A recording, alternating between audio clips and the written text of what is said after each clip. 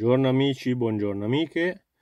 Oggi siamo qui con Apple Pie, torta di mele, un box che per molto tempo ho inseguito, finalmente ho in prova e vi anticipo spoiler che funziona molto bene. Pensate che da quando l'ho ricevuto ho già installato due aggiornamenti OTA e oggi ho visto che ce n'è un altro pronto per essere scaricato e installato siamo a livelli, non so io, di pixel, di, di un iPhone, insomma, mai visto un supporto così eh, massiccio per un box, figuriamoci anche per uno smartphone.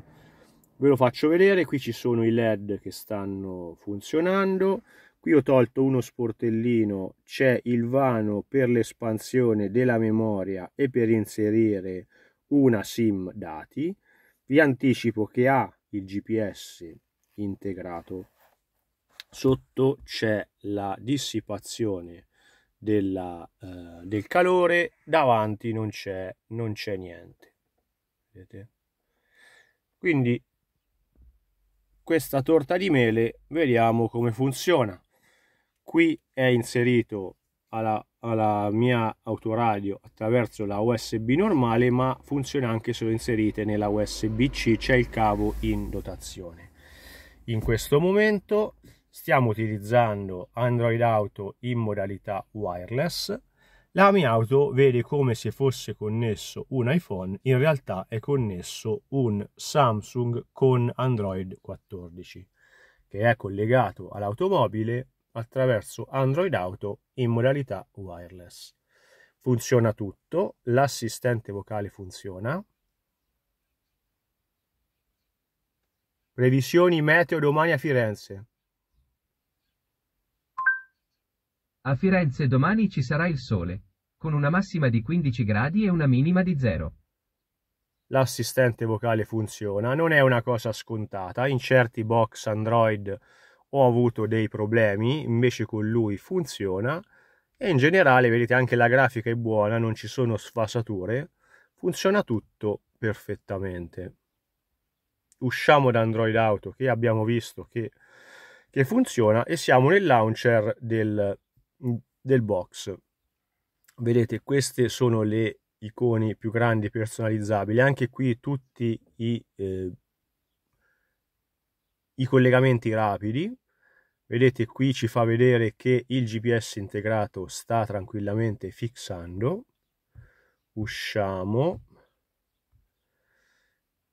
Vedete. Allora, per telefonare dovete chiaramente utilizzare il eh, dove, qui è se fosse inserita una sim nel vano del, dell'Apple Pie qui, vedreste, qui avreste la possibilità di telefonare. In questo momento io non ho inserito una sim né dati né chiamate ma adesso ci connetteremo a una SIM che ho integrato nella mia automobile. Quindi ad Apple Pie potete mm, telefonare o attraverso Android Auto o attraverso CarPlay, CarPlay Wireless oppure inserire in Apple Pie una SIM e a questo punto chiamare da, da qui, ma deve essere inserita una SIM che io, sa che io non ho, non ho fatto. Quindi dovete telefonare da Android Auto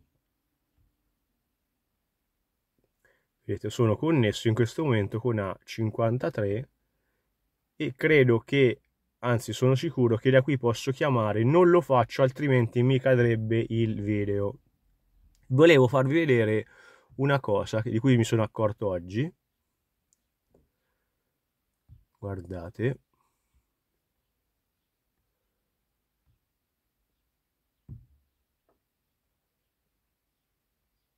Android 13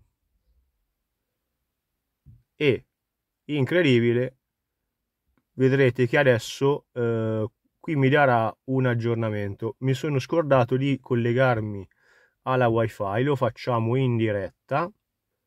Andiamo qui. Andiamo qui.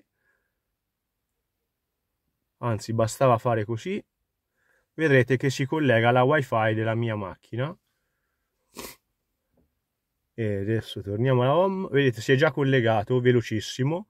Vedrete che dovrebbe, mi pare che c'era anche oggi un collegamento.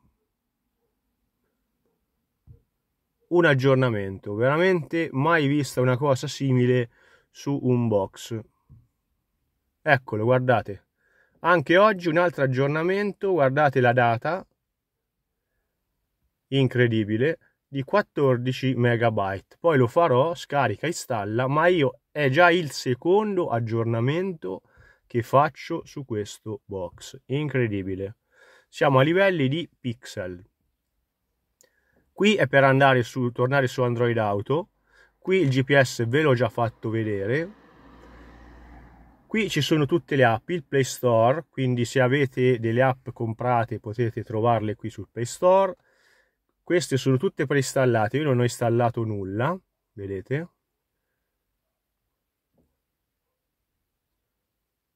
Vediamo. Questo per installare le, le APK, se avete qualche applicazione curata o birichina, la potete installare da qui. Vedete? sono tutte applicazioni preinstallate che però potete anche cancellare tra le altre cose vedete se ci premo sopra e la mando qui su disinstalla lui me la disinstalla vedete com'è veloce quindi morale della favola questo box a mio parere è un best buy e nonostante io non abbia il top di gamma poi perché questo qui non è il top di gamma dell'Apple Pie io ho 4 GB di RAM e 64 GB di memoria interna, ma ce n'è anche uno di superiore. A lui anche lo Snapdragon. Mi pare che si chiami Max questo modello, ma ve lo metterò in descrizione la, uh, la dicitura esatta.